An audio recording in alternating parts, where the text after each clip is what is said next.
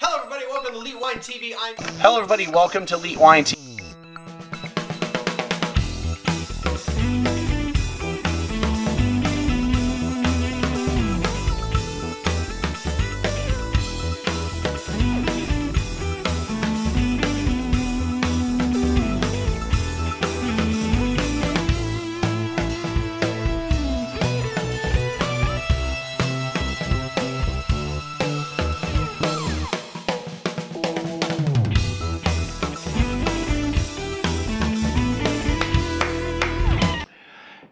Welcome to Elite Wine TV. I'm your host, Mark Fusco, here for another edition of the show. All right, so New Year's Eve wines. Um, and I, I, busted some out. And I've been buying these sparkling wines for a little while over the past year or so. Actually, one of these might have been, I might have had longer than a year or bought it over a year ago. Um, anyway, so I've got three different sparkling wines um, from three different sources. And um, and one of them was a was a free sample, and uh, I'm excited to try them out, man. Like, you know, I, yeah, and I've been actually collecting some sparkling wines. I went to a, a High Street, the the wine bar I like to go to. Uh, they had a uh, they had a sparkling wine around the world uh, class, and it's six different sparkling wines from all over the place, and I bought all six. I don't know why. I mean, they're all good. I think I bought them just for the some of it was like novelty factor. Um, you know, Hungarian sparkling wine. What? Yeah. Um, anyway, so so I got a whole bunch of sparkling wine to drink besides these. Anyway, um, so let's get right into it. I'm real excited to try these. Um, so the first one, the first one is the non-vintage Maison Albert Bichot Cremant de Bourgogne Brut Reserve. Uh, I got this as one of those underground cellar deals at $29. That was the initial um, I'll see if the little tab was in there, but um, that was the initial, uh, or that was the um, the uh, the entry level price, and this was the wine that you got. This was the twenty nine dollar wine, um, so I didn't get like a deal on this one. Um, anyway, I'm opening it up properly. Use the use the blade on your on your knife to get the foil off. Because if there is a tab, I couldn't find it, and even then, we're not supposed to use a tab. All pretty and stuff. Anyway, um, so Albert Bichot, let's let's switch over to that. My little notes here. No, not that. So uh, let's let's get back to the little history thing. Anyway, so they were founded in 1831, but their family, uh, the first traces of the Bichot family date back to 1214. So wow. Uh, they settled in Burgundy in 1350. Um, and this is in their fief of Chateauneuf on Auxois, okay, which I actually not really exactly sure where that is. Um, uh, blah, blah, blah. The family's coat of arms has not changed since, nor has its symbol a doe, which is Bichet, I guess. Um, in 1831, Bernard Bichot founded a wine trading business in his name, um, and then his son Hippolyte, Hippolyte, Hippolyte uh, succeeded him and brought uh, the first vines into Volnay, already conceived already convinced that upstream control was essential. Then his son, his son Albert, was the first to bear the name uh, and gave the family business new momentum in the late 19th century and settled in the center of Beaune uh, once and for all 1912. Anyway, and then it goes on from there. So this wine, oh, it smells so good. So a Cremant de Bourgogne. So it's a sparkling wine from Burgundy. Um, the variety of grapes and the choice of the origins are a result of, oh, sorry, Chardonnay, uh, Pinot Noir, because those are basically the two grapes of Burgundy.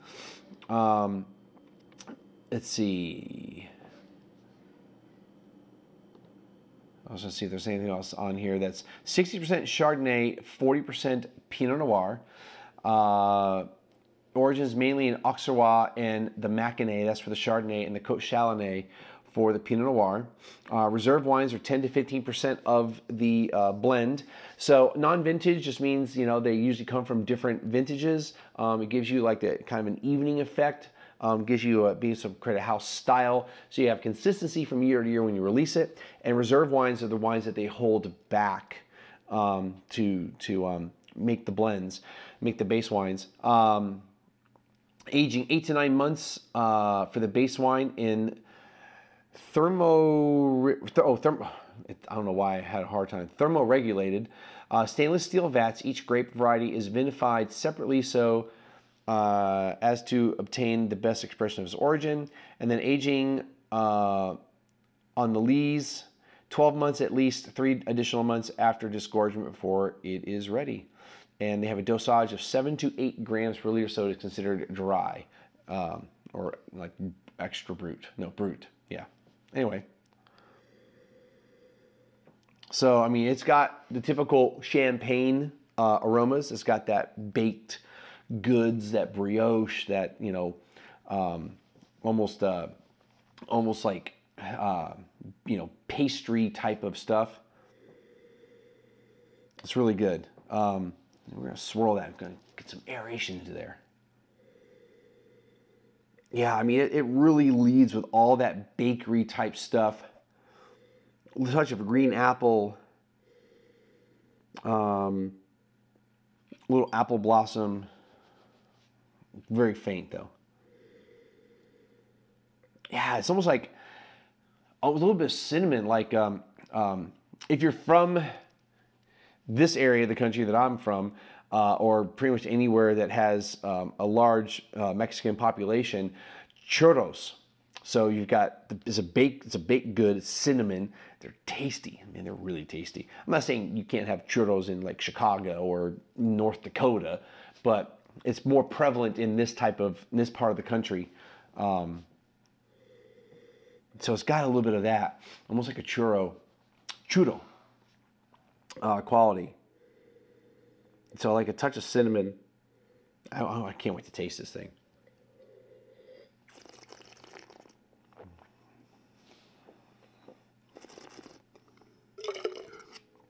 So that green apple really comes through now, um, along with all the baked baked goods type of stuff. Um, there's even a touch of orange to it that's not present on the on the on the uh, nose.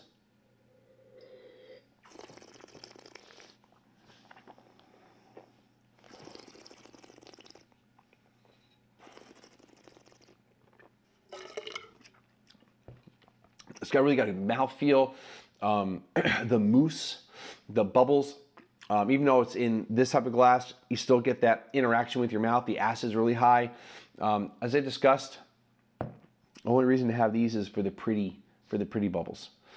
You can't really can't really get the aromatics out of those things. I mean, you can, but not as much as you can have a regular glass. Don't worry, I'm going to use it later.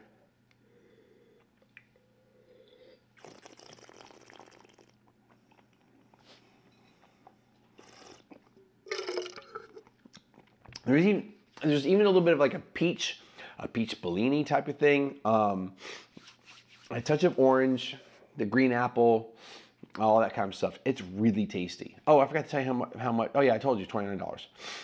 So yeah, really nice. So let's close all those. No, we're not doing that one next. All right, so the next one we're going to do I'm really excited about doing this one. So let's let's get that let's get that puppy back on there.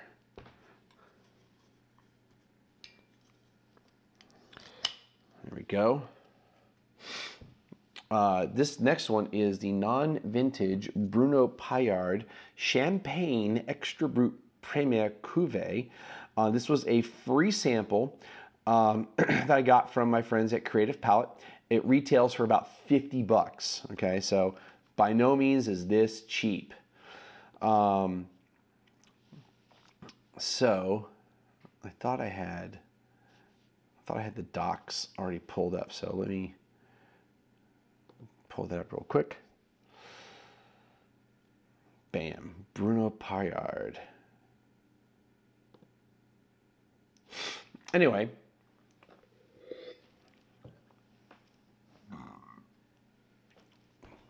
some opening. So Bruno Paillard is not a businessman who created a champagne house. He's a man who created a house to make champagne he loves. Um, uh, he is Bruno Paillard is part of his champagne's DNA, uh, creating a highly personal expression. Uh, he makes the blends, nosing, and tasting over over new 250 base wines each vintage. Uh, his daughter Alice, who now shares in the decision making process, uh, says he has an excellent nose. Uh, they've been growing uh, champagne grapes in the two Grand Cru villages of Bouzy and Verzenay since 1704. His great grandfather was a vineyard manager. Uh, his father, Remy, had a small parcel of vines and owned a grape brokering company. This really doesn't want to pop open, does it? Okay, so we're going to cage off when you're not supposed to do. So I'm trying to get a better grip on this. Um, yeah, this thing does not want to come off. In service, this is not the type of cork you want to have. This is not the type of problem you want to have because you don't know how this is going to pop off. Oh man, it's really not coming off.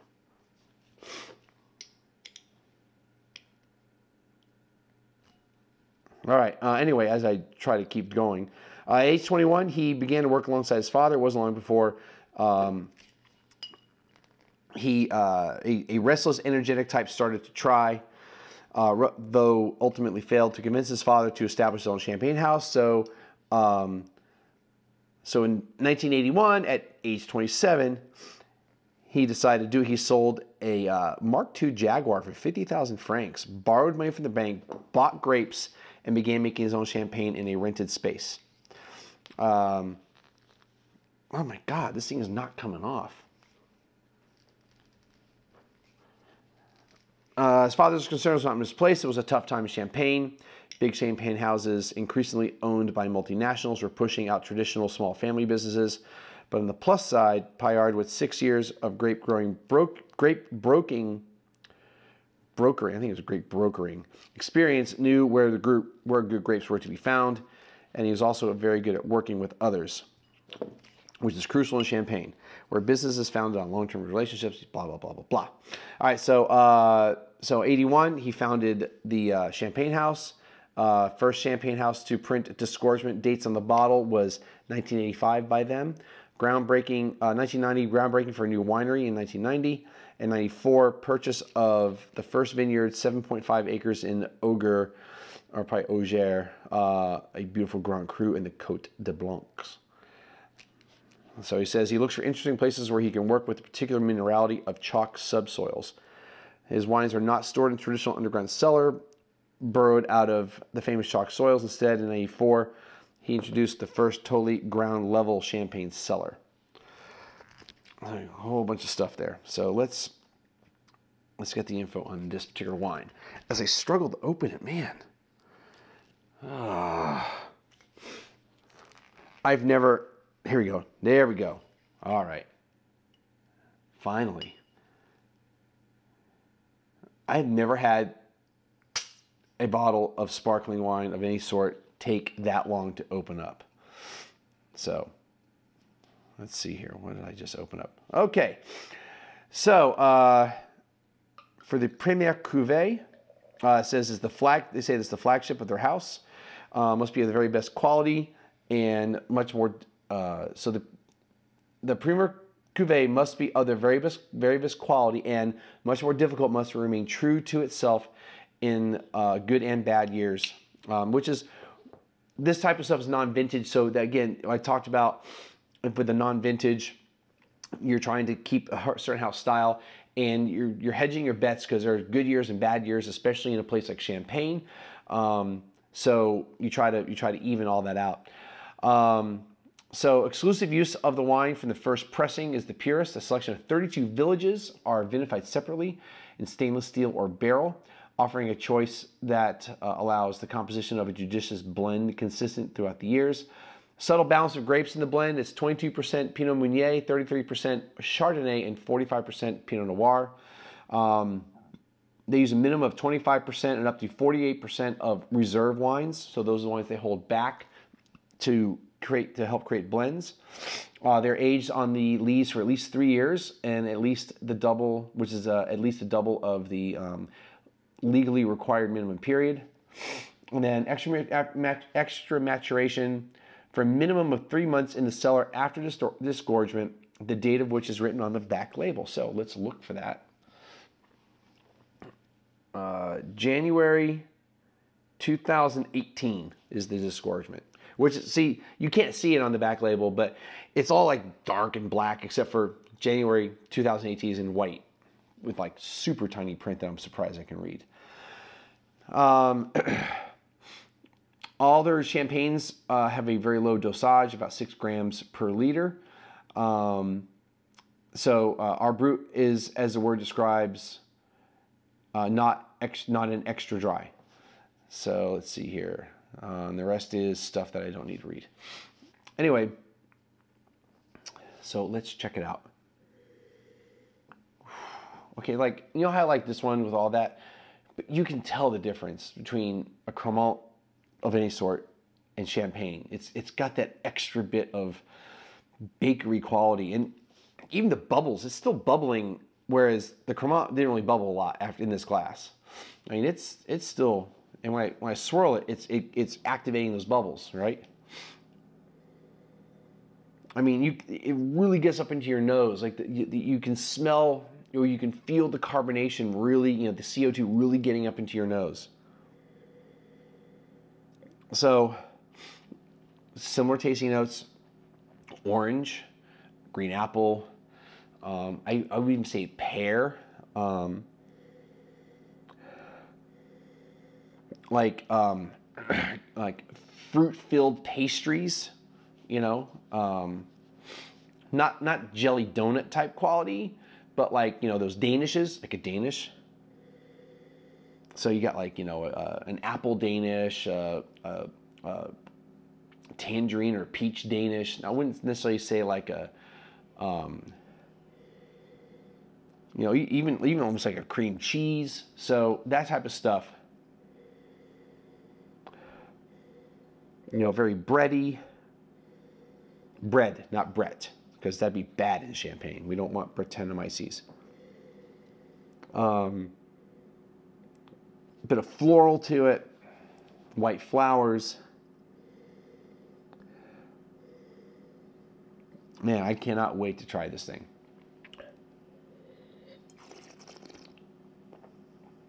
Mm.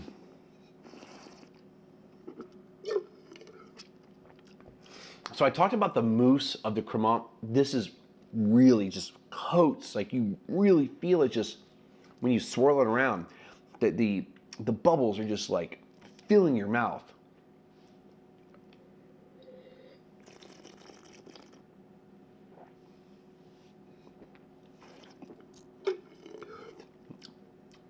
And everything I described from the nose is all present in the, in the mouth, in, in, in the palate. Um, it's a really good balance. Even though it's dry, you feel like there's a, you feel like those bakeries, those pastries, uh, that there's the sweetness there, but it's not actually sweet. You just taste that that that type of flavor profile, right? You know, those danishes with maybe like maybe like you know glazing, like a you know, like a you know white glaze on them. Um, you heated it up in the oven.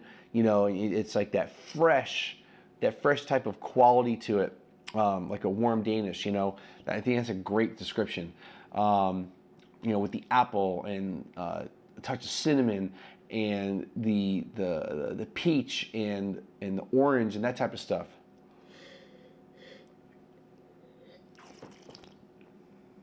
Hmm.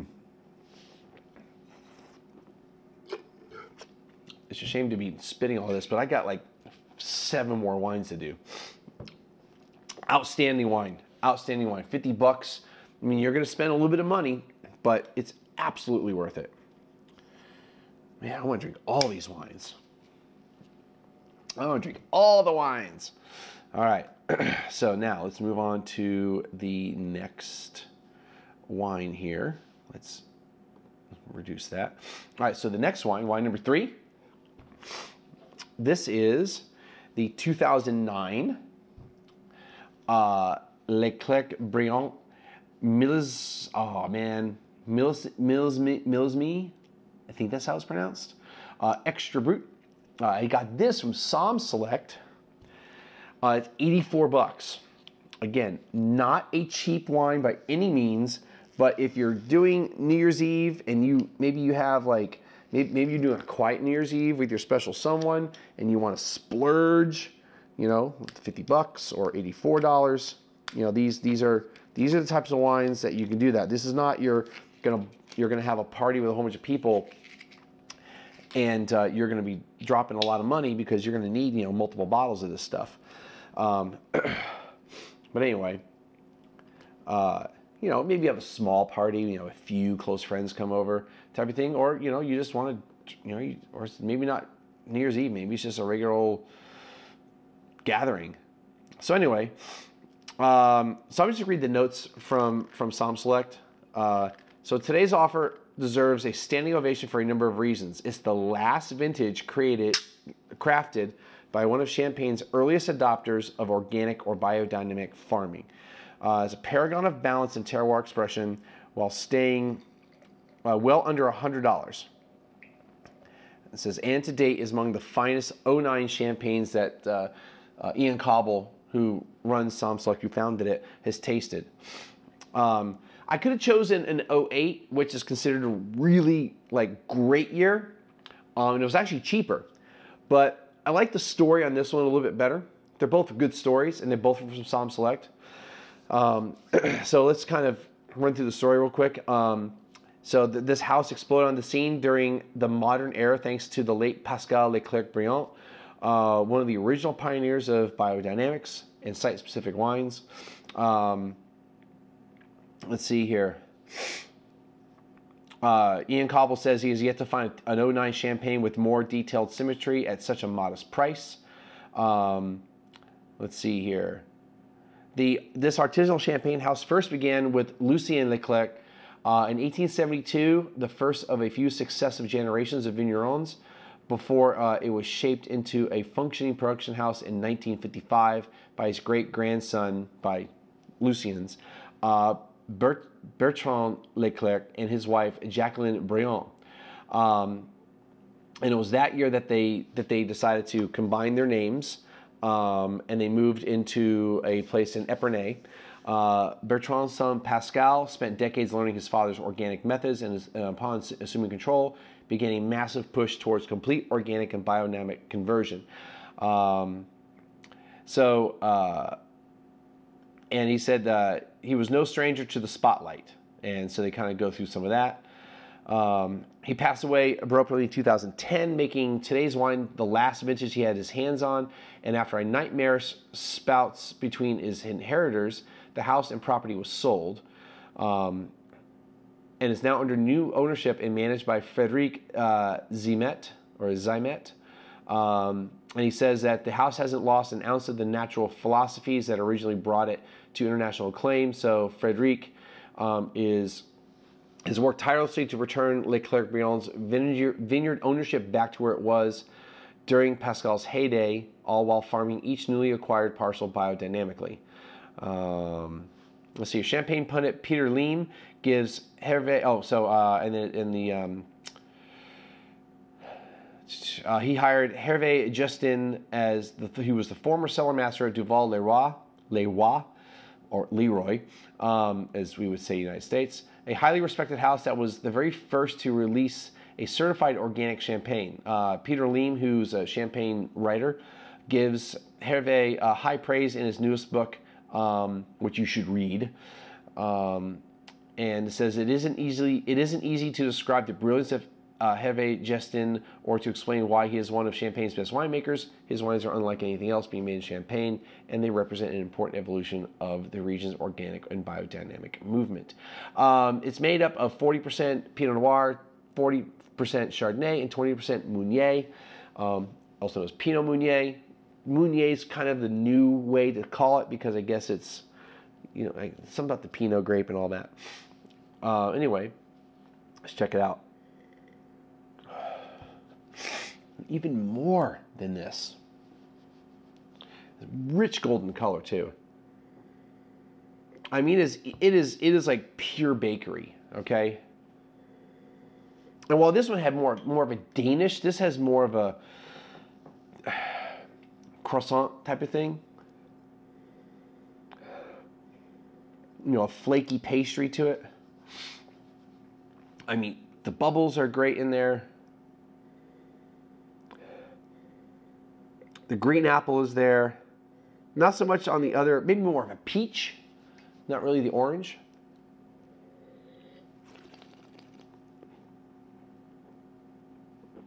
Mmm.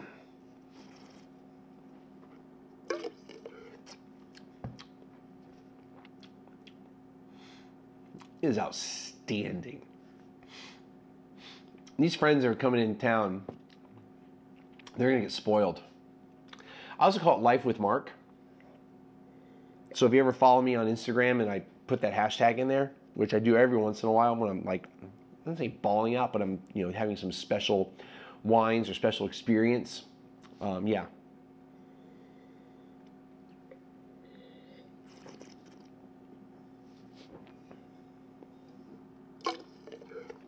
So on the palate, again that that pastry, the Danish is there a little bit now on, on the palate. Um, again, it's not a sweet wine, but you feel like you're you're tasting that that that um, that um, glaze, you know, on the donut uh, on on the the white the white glaze on the Danish. Um, it's not as fruit forward as as on the Paillard, um, but um, and there's there's actually a touch of savory to it, just a touch, like on the back end, like you know, as, as it kind of sits in the palate, um, almost um, almost like a salty, briny thing, not a touch, you know, just like a touch, you know. Orange is in there right now.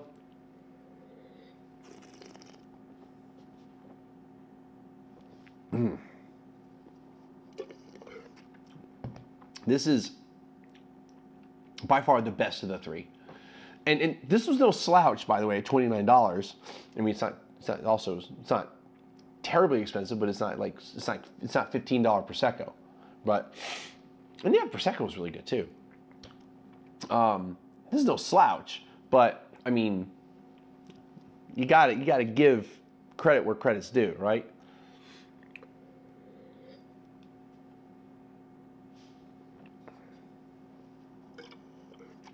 The mouthfeel, everything is just so elegant. It's 84 bucks, okay? In a restaurant wine list, it would be easily 170, 200 dollars. So I mean, you're kind of you're kind of getting up there. It's really nice. Really nice.